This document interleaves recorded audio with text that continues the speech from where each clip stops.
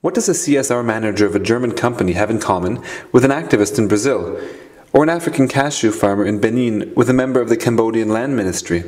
They all decided to see sustainable development as a chance, and they all need to develop skills in bringing forward initiatives for sustainability in dialogue with many different actors. The challenges of sustainability have reached the entire globalized world. Success and failure in moving towards a more sustainable way of living on this planet affects everybody. Working towards a more sustainable world requires bringing together differing worldviews and balancing conflicts of interest for responsible businesses, people oriented public services, and a strong civil society.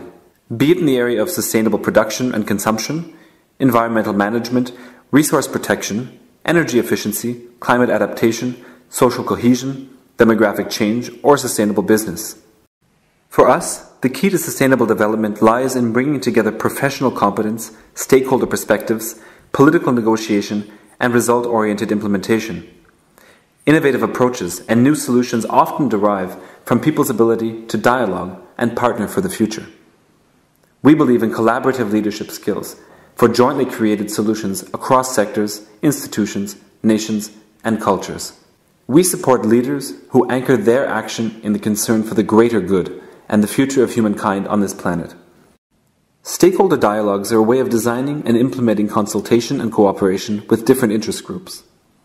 They bring different perspectives together that allow a collective search for solutions and offer a constructive approach to tackle complex issues by opening new courses of joint action. Stakeholder dialogues must become more than just a meeting of different stakeholders.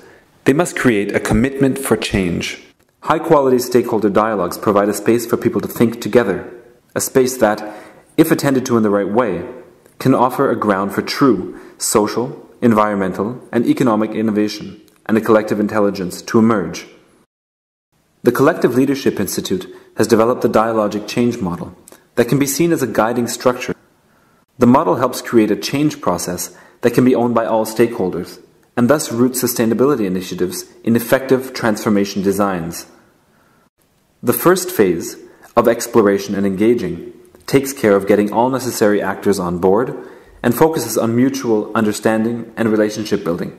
The second phase is about consolidating commitment to change of all involved stakeholders. Emphasis is placed on a joint understanding of challenges and solutions, as only this ensures that written agreements, agreed upon project plans, or formal contracts are implemented jointly. The third phase focuses on achieving tangible results, implementation, agreed upon activities, measuring of success, and evaluating progress is done in a way that keeps all actors on board. If all has been achieved, stakeholder dialogues can end here. The fourth phase is important when lessons learned from the initiative should be replicated, scaled up, or embedded in more lasting structures. We have actually made the experience that only a dialogic way of change towards sustainability creates real commitment and creates the willingness of all actors to find innovative solutions to their challenges.